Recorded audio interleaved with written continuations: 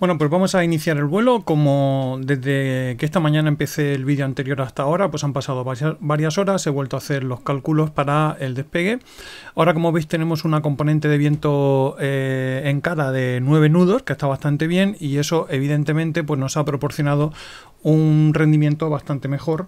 Con lo cual, bueno, si nos vamos a la carga, he usado 60 pasajeros. Eh, y ahora el combustible, como veis, llevamos 10 toneladas de combustible adicional, más una tonelada de, rodadura, o sea que vamos, mm, vamos, yo creo que debería sobrar bastante combustible. Y como veis ahora el rendimiento, teníamos un, un, peso máximo de 156 toneladas, lo hemos dejado en 154, que está bastante bien. Así que, pues nada, como hacíamos antes, exportamos los datos, generamos la, la hoja de rendimiento ¿vale? Y vamos ya, esto lo cerramos, no sé por qué ha cambiado ahora. Vale, y nos vamos ya a, qué es lo que necesitamos para volar. Bueno, pues como ya sabemos, el, motor meteorológico evidentemente necesita, necesita estar encendido. tenemos la ruta en, en Skyforce, hemos hecho la, los cálculos de rendimiento, tenemos Little Navmap con nuestra ruta cargada, tenemos también el PFPX, lo utilizo cuando, cuando lo tengo cargado, eh, sobre todo lo utilizo para cuando vuelo online, porque aquí se ven muy bien los sectores eh, para saber cuándo tengo que contactar con, pues con un controlador u otro. Si entramos en el apartado de, traffic y entramos, bueno, en Batsit o IBAO, yo uso Batsim, pero podéis utilizar cualquiera. Hoy evidentemente no voy a volar online al al, estar haciendo el tutorial porque voy a tener que hacer infinidad de pausas. Pero como veis aquí, por ejemplo, cada vez que hay alguien conectado se ve muy bien eh, los distintos puntos eh, de intersección con las aerolíneas. Bueno, aquí no se ven las ahora. No se ven las... Eh, se ven... no sé por qué. Vale. Normalmente cuando tengo la ruta, como ya se ve la ruta, se ve muy bien. Entonces aquí al verse muy bien los puntos de intersección, pues sabes perfectamente cuándo debes contactar con el controlador que está online, si no te contacta primero, claro. Mirad, aquí por ejemplo tendríamos que cruzar uno. En, no, porque esto es, calla, esto es el Golfo Pérsico. Vale, bueno, pues eso, que, me gusta utilizarlo y tenerlo abierto para, a pesar de ya tener hecha la planificación, porque se ve mejor. En, es una de las cosas que Little Navmap, con todo lo que me gusta, pues ahí me falla, porque aunque le podemos poner las distintas... Eh, los distintos sectores de control, pero como veis eh, no, se ve claro, es, muy oscuro. Entonces, vale, sí, aquí puedo ver el punto de contacto, pero como veis en algunas zonas que está muy, eh, muy oscuro, ¿no? Añade, añade, no añade claridad, cuesta, me, cuesta trabajo, trabajo verlo. Y de la otra manera, además aquí tampoco se vería quién está conectado y no, aunque también se puede conectar online. En fin, bueno, que me estoy enrollando más de la, más de la cuenta, que prefiero verlo ver la conexión online aquí en PFPX. Vale, las cartas de navegación importantes. Em, tener la carta de. Aunque ya. Bueno, también se puede ver perfectamente en.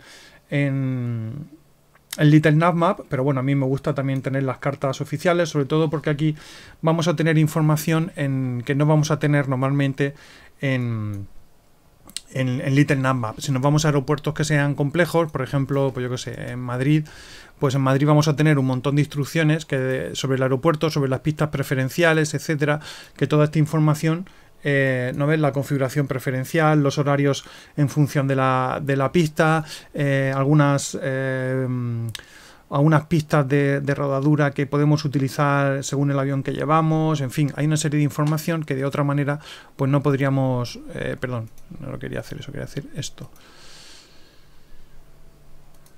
Em, vale, si tengo... He perdido la ruta, creo. ¿No? Sí, he perdido la ruta que tenía cargada. No, hasta aquí, vale. Ahora. Bueno, pues eso es. Abrimos las cartas, que es importante. La salida normalizada, que ya la tenía pinchada de antes. Y tenemos también nuestro aeropuerto de llegada, aquí ya preparado. Lo tenemos todo, todo listo. Así que, pues otra cosa más hecha. Eh, luego yo que utilizo los controles de, de pues tengo cargado mi, panel de control. Si usáis, hacéis algún registro de vuelo para vuestra aerolínea, FS Airlines o lo que queráis.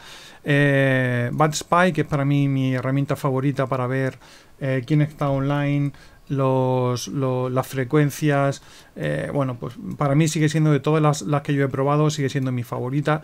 Aquí podemos ver claramente el control. Si hay alguna, por ejemplo, aquí, si este aeropuerto que tenemos el, el ATIS, pues puedes entrar a ver el, el, ATIS.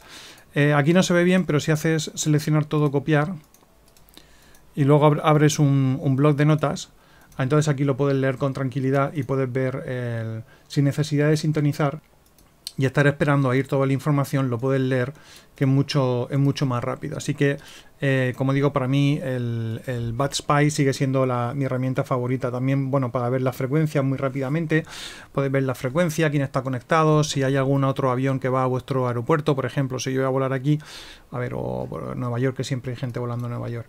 Si hay en Nueva York, yo puedo activar las, listas de entrada, por ejemplo, y yo sé que las que son discontinuas son aproximaciones. Y así cuando voy a hacer una aproximación, pues sé si hay alguna otra persona que viene también en aproximación. Y bueno, esto no es el objetivo de, esta parte sino empezar ya los preparativos del vuelo. Vale, ah, vale, muy importante. El, antes comenté el que, el que todos estábamos esperando como agua de mayo el Concorde eh, X para el Prepare 4 por ser de 64 bits. El, el, hace un consumo de memoria que es brutal. Eh, lo vamos a poner muchas veces al límite y de, y de hecho no es infrecuente tener errores OOM de falta de memoria. Entonces, una de las cuestiones que, tiene es la gestión de escenarios. Para gestionar los, los, escenarios, para mí mi herramienta favorita se llama Scenery Config Editor, que la tenéis, vale, pues habrá que buscarla en internet. Scenery Config Editor. Vale, que la tenéis aquí para descargar. El problema es que la, aplicación hace ya varios años que no se, no se actualiza. La última versión, eh, a ver dónde está, será del, del 2018 o por ahí, por ahí, por ahí. A ver si aparece por aquí por algún sitio. Eh, hay un motor por ahí fuera de mi casa que se oye un montón y espero que, no se oiga demasiado en el vídeo porque molesta muchísimo. Aquí del 2017. En la última versión no se ha vuelto a actualizar, con lo cual funciona muy bien hasta Prepare 4, pero aún así hay ciertas cosillas que no, que no de hacer bien, que es por ejemplo los escenarios que se instalan con el nuevo sistema de, de, add-ons, con los archivos XLM. Eh, XLM.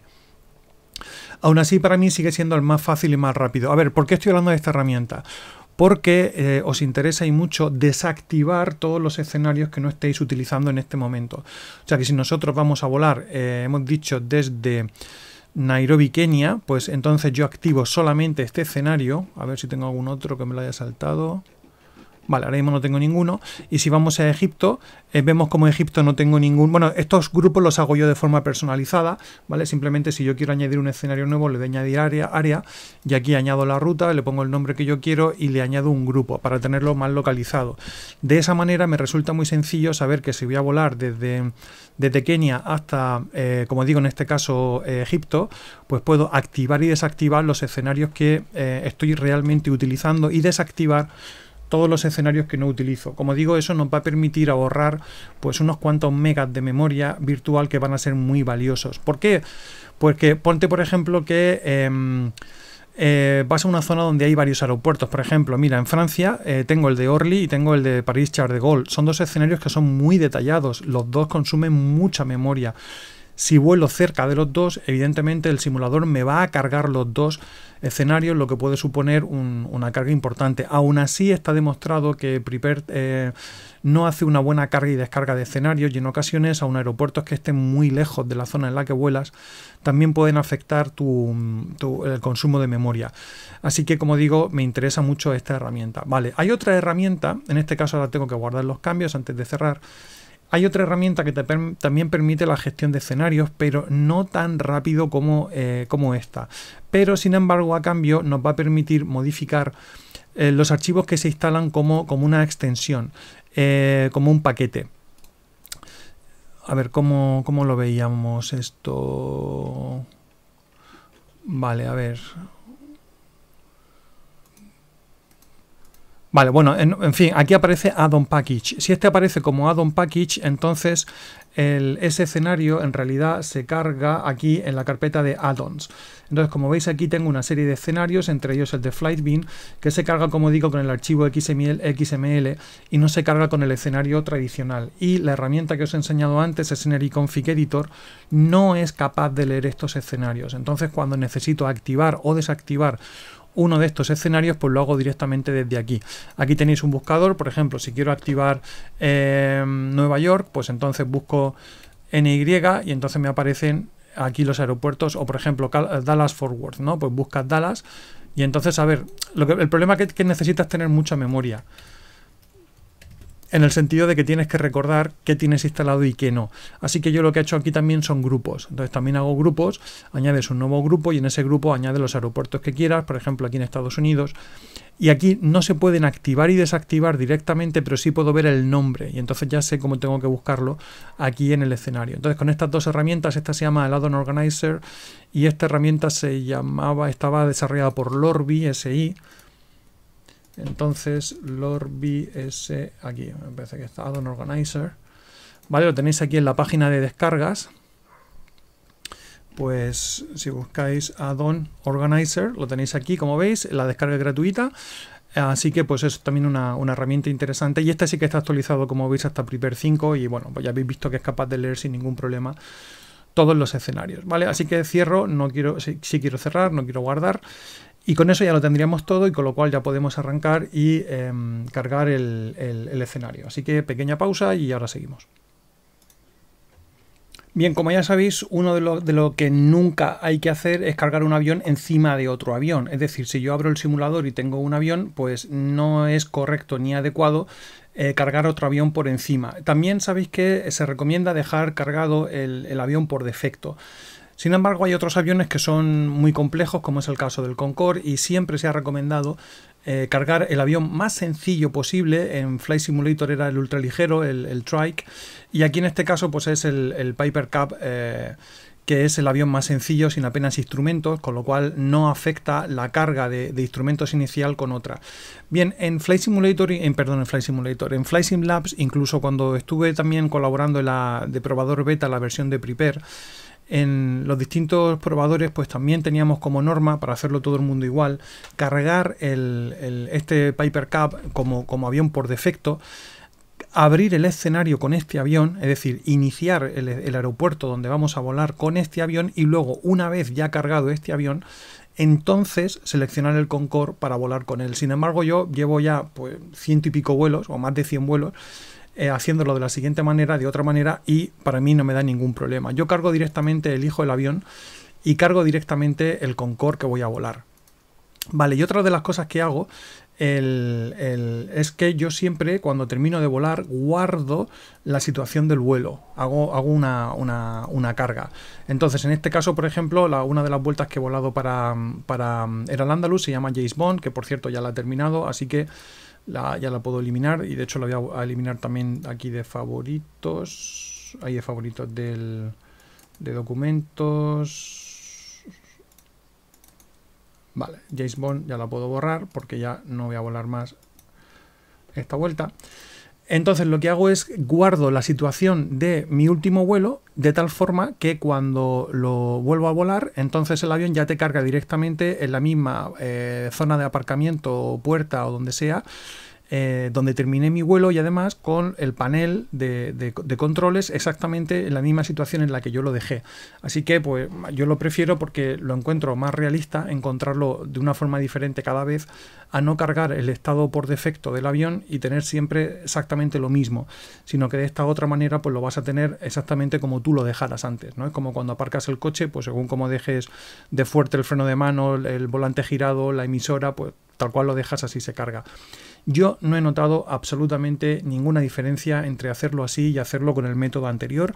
Así que, pues, como digo, pues yo directamente vamos a cargar el escenario que teníamos antes. Así que le damos a cargar y pausa y ahora cuando esté completo continuamos.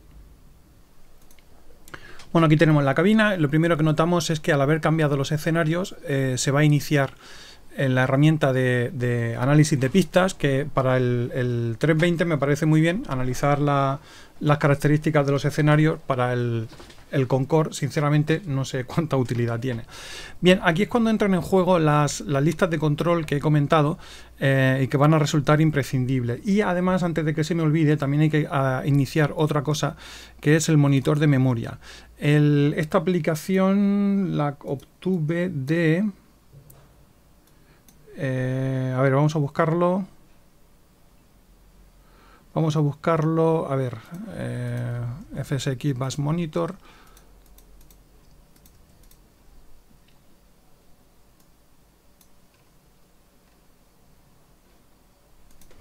Vale, es que está un poco escondida. Si veis, la página web nos indica que es spillfred.com, pero curiosamente si entras en spillfred.com no tienes acceso a esta herramienta, no la encuentras por ningún sitio. Eh, aunque entres en cualquiera de las secciones, no está esta herramienta, es curioso. Sin embargo, si lo buscas en Google, si buscas en Google eh, Spillfred Bus Monitor, entonces el primer eh, resultado que aparece sí que está aquí. Es una herramienta, como veis, de, de Microsoft Net que entonces le das a instalar y la, tienes aquí. Esta herramienta, ¿por qué me gusta por encima de otras? Porque eh, la puedes configurar, bueno, lo primero vemos la memoria que estamos utilizando, cuál tenemos, pero me gusta porque puedes establecer una cantidad de memoria para, que haya una alarma. Entonces, el, el ver la herramienta en rojo, te aparecerá un mensaje en verde arriba con la cantidad de memoria que te queda libre, con lo cual pues te pone un poco, te pone un poco ya sobre alerta. Eh, yo en este caso he establecido 409 megas de memoria libre, el aviso, porque sería un 10%. Si baja de ahí seguramente vas a tener problemas, todo lo que sea menos de 300 prácticamente tienes un, error garantizado en el aterrizaje. Eh, si estás aquí en 400 pues a lo mejor te puedes librar y eso nos lleva a la configuración. El, como digo, según en qué escenarios utilices y según a dónde hueles, pues hay algunas cosas que, te van a consumir muchísima memoria y eh, pues vas a tener que trabajar que relajar, mejor dicho, algunos ajustes a cambio de, poder volar con más tranquilidad. Eh, ¿Qué es lo que nos va a consumir mucha memoria? Nivel de detalle. La calidad que he notado entre el medio y el alto es, muy alta. O sea, el nivel de detalle del suelo, la calidad media, lo cierto es que deja mucho que desear.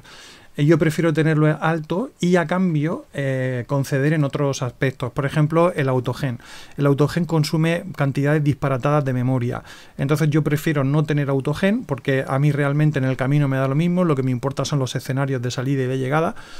Eh, y luego mientras vuelo, pues también te gusta de vez en cuando mirar al suelo. Entonces, a, a, 60.000 pies de altitud que, ves el mar o a, o a 30 y pico mil si vas en sobre tierra, pues a mí el autogen no me hace tanto, prefiero tener mejores texturas. El resto, bueno, el resto son otros problemas, salvo la resolución de las texturas, que yo la tengo también en 2 en dos metros y la, la, complejidad del escenario la tengo en normal. Si la subes a, a densa, también en alguna ocasión puedes tener algún, algún te puede hacer un consumo un poco excesivo, con lo cual estas son las principales opciones que yo tengo, pero bueno, cada uno evidentemente que pruebe y que haga lo que, lo que quiera. Vale, lo siguiente que necesitamos, como decía, van a ser nuestras listas de control. Entonces, la descargué aquí, eh, aquí, ¿vale? Y pues evidentemente nos tenemos que ir al principio. Eh, cuando hice estas listas de control, y esto porque no, Vale, sí, estamos aquí al principio. Cuando hice estas listas de control, eh, me planteé mucho si hacerlas también en español, pero el, suponía una cantidad de trabajo increíble porque había que traducir una cantidad de términos tremendamente técnicos. Además, todos los paneles.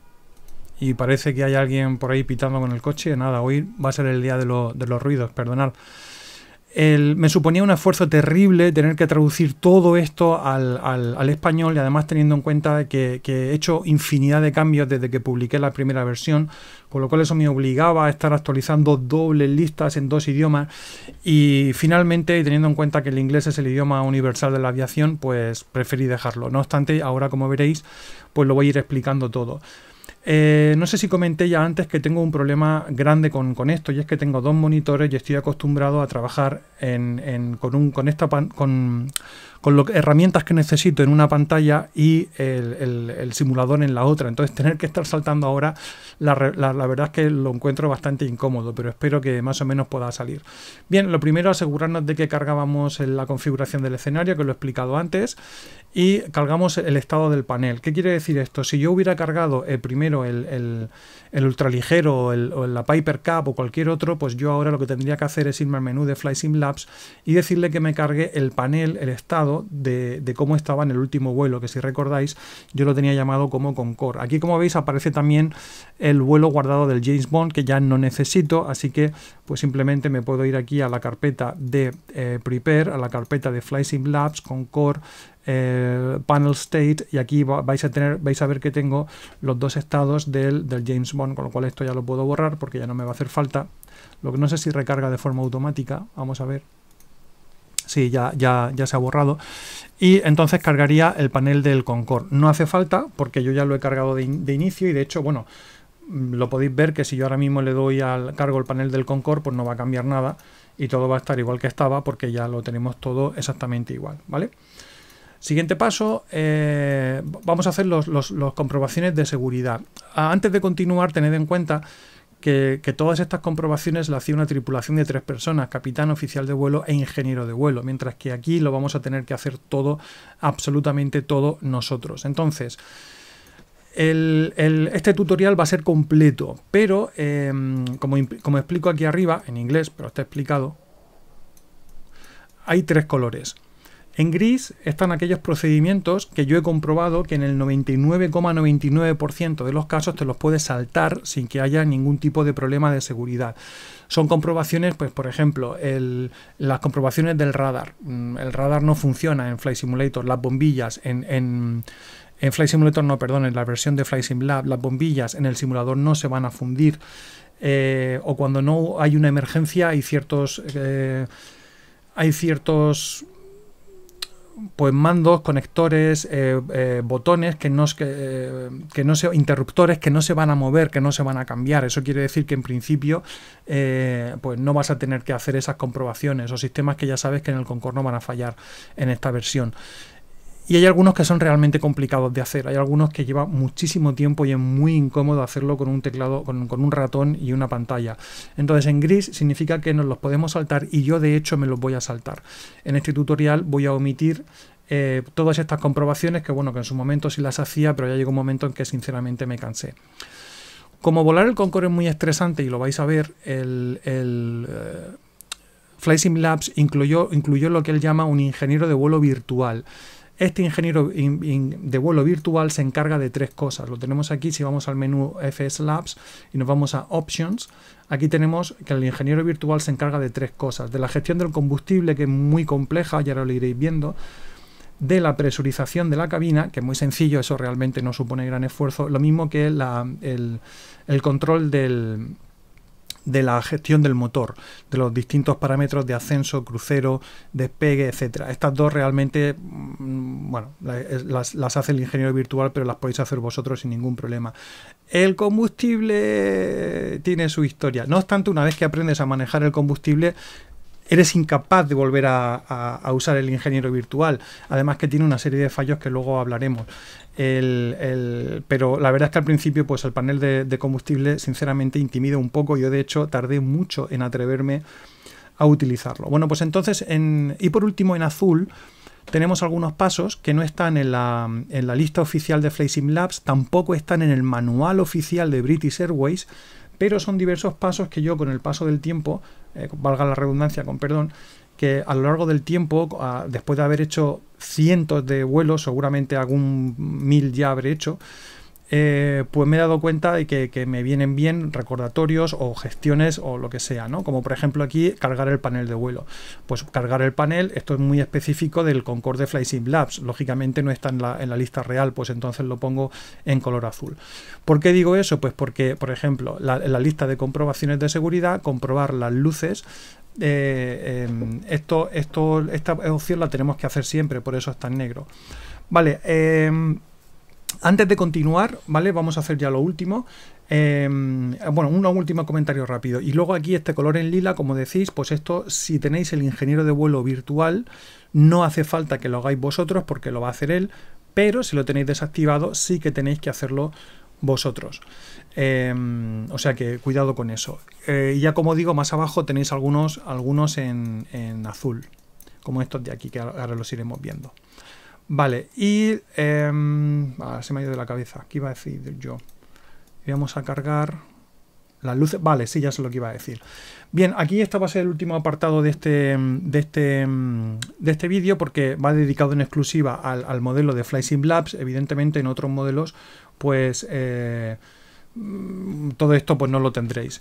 Bien, al principio eh, aprenderon los, los, atajos de teclado del, del Concord pues es un reto, pero antes o después te los aprende y además es necesario. Entonces, lo primero que nos tenemos que aprender, pues como siempre, ya sabéis que en mayúscula, mayúscula 1, como veis, no se utiliza porque está pensado para el panel 2D, con lo cual esto nos olvidamos. Mayúscula 2 nos va a sacar el panel del ingeniero de vuelo, donde tenemos todos los instrumentos del ingeniero de vuelo. No obstante, casi todos tienen un atajo de teclado propio. Eh, mayúsculas 3 eh, y mayúsculas 4 nos va a enseñar el, panel superior. Eh, mayúsculas 5, un panel que casi nunca se usa, que tiene que ver con las luces. Ah, por, cierto, eso me recuerda em, lo de las luces, que no se me olvide. Bueno, en fin, mayúsculas 5, mayúsculas 6, etcétera. Y luego, control mayúscula nos va a sacar los paneles del ingeniero de vuelo. Control mayúscula 1, control mayúscula 2, control mayúscula 3. Evidentemente yo no voy a estar diciendo em, qué control tenéis que utilizar, pero los tenéis en la lista de control. Aquí a la derecha, como veis, nos indica que para poder sacar el panel donde tenemos las luces de navegación tenemos mayúsculas 3. Pues este es el panel que necesitamos y está diseñado de tal manera que todos los pasos que vienen a continuación, mientras no aparezca otro panel, significa que todo esto de aquí se hace en el mismo panel. Es decir, el boarding, racking area and roof lights se hace en el aft overhead, lo mismo que auto ignition, ah, ADS engine probe heaters, wind and intake, anti-icing, todo esto se hace en este panel. Cuando hemos terminado con este panel, saltamos al panel control mayúscula 5 y aquí tenemos que hacer dos pasos, trim trams auto master set y tank 11 inlet valves. Estos dos se hacen en este panel. En el panel control mayúscula 6 hacemos estos tres y así sucesivamente. Bien, el tema de las luces, muy importante. Eh, suponiendo que tengáis el Concorde de Flight Labs ahí mm, en el hangar eh, y ahora no, ya no lo volaba y ahora cuando al cabo del tiempo, pues con este vídeo, por ejemplo, os apetece volver a volarlo, tened en cuenta algo muy importante. Flight Sim Labs eh, desarrolló junto con cuando estaba haciendo el cuando estaba haciendo su, su Airbus desarrolló un sistema de iluminación que se llama Spotlights. Este sistema de iluminación em, tiene un problema con Prepare 3, de tal manera que como mucho funciona con, tiene que estar por aquí indicado en algún sitio, funciona con unos ah, controladores específicos de NVIDIA que están aquí, hasta la versión 376,33. Esto es debido, como digo, al panel Spotlights que da un problema con controladores de NVIDIA superiores a esta versión. No obstante, el Concorde tiene un problema muy, muy gordo de iluminación, el Concorde de, de Labs. El problema es que, em, eh, a ver, un segundo, lo voy a dar, simplemente lo voy a dar, aunque no lo explicaremos los pasos, voy a darle corriente para que veáis una cosa. Si yo entro aquí ahora mismo al panel, por ejemplo, y enciendo las luces, veis que se ven perfectamente, y si ilumino todo, pues la iluminación funciona muy bien. Por algún motivo que desconozco por completo, y ya creo yo que me encantaría saber el por qué, cuando pasa cierto tiempo, que ya digo, no, he sido capaz de encontrar exactamente el motivo, el por qué sucede, cuando ha pasado un cierto tiempo, de repente estas luces dejan de funcionar. Dejan de funcionar y además la cabina se queda tremendamente oscura, tan oscura que es muy, muy difícil poder volar de noche. Eh, y digo que es aleatorio, vas volando un rato, a veces se estropean antes siquiera de empezar a volar, otras veces vas volando media hora y no cambian, y otras veces en tres minutos se, apagan. Y como digo, es muy difícil de, es muy difícil de, volar así a, oscuras. La única solución que yo he encontrado para poder compensar esta falta de iluminación, pues es entrar a las opciones del simulador, entrar en settings, entrar aquí en lighting y entonces subir el brillo de la pantalla al tope. Lo subo al 2 eso lógicamente va a provocar una iluminación muy falsa porque el exterior se va a ver con muchísima más luz de noche de la que se vería en realidad, pero es la única manera que yo he encontrado de, encontrarme cómodo con de encontrarme cómodo con, la cabina de noche. Luego más adelante en el vuelo, eh, cuando ya llevemos un tiempo que ya esto deje de funcionar, pues os cambio la hora para que veáis el si me acuerdo, espero que sí, para que veáis el, cómo se vería y el por qué, como digo, esto está, esto está muy mal. Y por eso digo que este panel prácticamente no se utiliza, porque luego esta, esta vista, por ejemplo, eh, luego se ve, se ve fatal.